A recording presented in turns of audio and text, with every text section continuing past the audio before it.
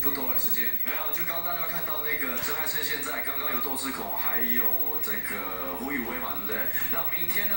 明天有我，还有李维维，所以呢，大家一定要就是准时收看，就是我们到底有没有发生的事情？